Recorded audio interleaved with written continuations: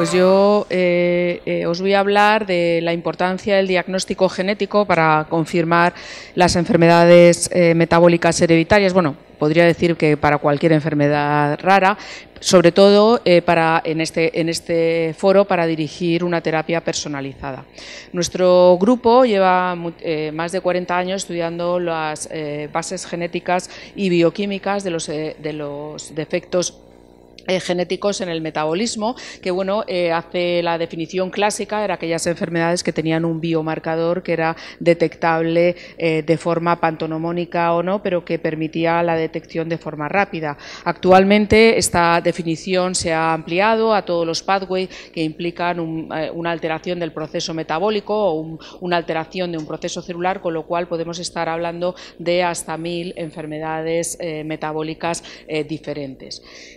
Eh, muchísimos de los casos, aunque eh, son unas patologías eh, reconocidas hace muchísimos años, no están caracterizados genéticamente y en la mayoría no hay una terapia definitiva para su tratamiento. Con lo cual, nuestros dos objetivos principales dentro del grupo, que comprende dos eh, laboratorios, uno en la Facultad de Ciencias, el Centro de Diagnóstico de Enfermedades Moleculares, llevamos aquí eh, muchos años, y un laboratorio de investigación en el Centro de Biología Molecular, el Nexo de Unión es eh, nuestra universidad. Pues nuestros dos principales objetivos están alineados con la investigación que hay en enfermedades raras y que potencia la investigación internacional en, un consorcio que se llama IRDIC. Este alineamiento está en la caracterizar genéticamente todos los casos de enfermedades metabólicas, eh, sobre todo los que no están eh, resueltos, con una, eh, una caracterización fenotípica, clínica y bioquímica exhaustiva para pasar a, análisis ómicos, tanto, aunque aquí la primera parte llevaría un análisis ómicos de metabolómica, en principio no dirigida, pero el futuro nos irá llevando hacia la,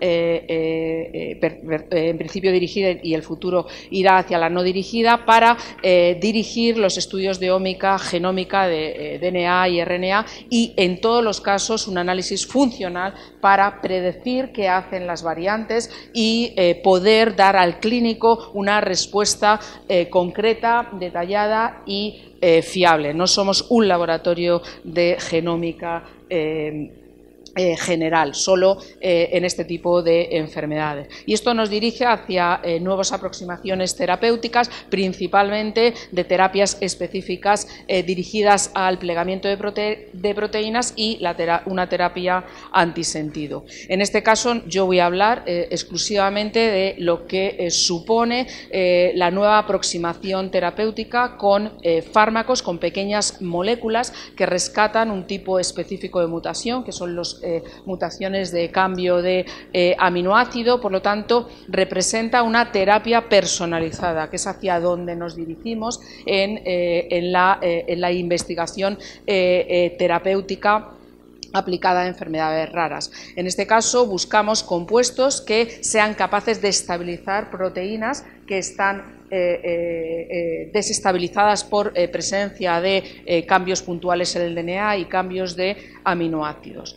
Eh, una de las principales características es cómo elegimos las eh, enfermedades. Nosotros estamos em, mm, eh, convencidos de que la terapéutica, para que convenza a las, a las compañías farmacéuticas, no debe ir dirigida hacia una enfermedad en concreto, sino hacia un mecanismo de acción, de tal manera que se genere know-how que sea aplicable a todas las enfermedades que podamos eh, eh, tratar. Esto eh, fue avalado hace tres años por una publicación en Nature Biotechnology en el que la terapia con, con, chaperonas podría ser un nexo de unión a muchas enfermedades raras y entre ellas las metabólicas.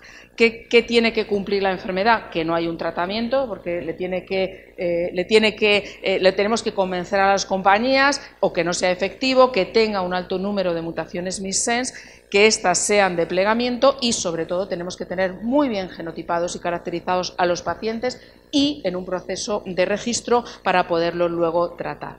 Este es el pipeline de trabajo eh, para eh, el desarrollo de este tipo de fármacos. Nosotros tenemos eh, patentado uno, bueno, dos, en dos enfermedades, en este caso es un pipeline de trabajo para la identificación de chaperonas en una enfermedad, la CDG PBM2, pero en todas llevaríamos a cabo el mismo proceso, un análisis exhaustivo de los mutantes con un know-how que está en el laboratorio, una, un screeneado de high throughput en sistemas de alto rendimiento para encontrar estas pequeñas moléculas y una validación funcional hasta encontrar un compuesto. ¿En qué situación nos encontramos? Hemos pasado este, eh, este punto, entonces nos encontramos aquí en la travesía del desierto, en el cual bueno, pues tenemos que hacer, estamos haciendo para intentar convencer de que es una eh, buena terapia, una eh, química médica. Ya hemos desarrollado más de 800 compuestos derivados de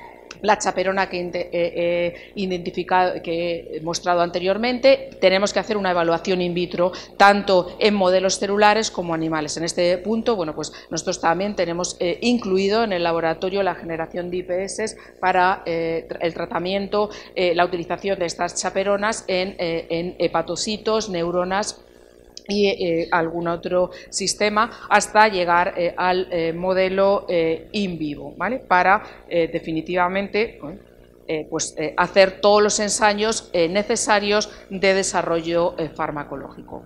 Este es el grupo, ¿vale? Y eh, bueno, pues ahora eh, eh, quiero dar las gracias en especial al Ciberer, al que pertenezco, porque gracias a ellos vamos a pasar esa travesía del desierto. Nos ha impulsado con un proyecto de desarrollo, uno de los proyectos seleccionados para el desarrollo terapéutico.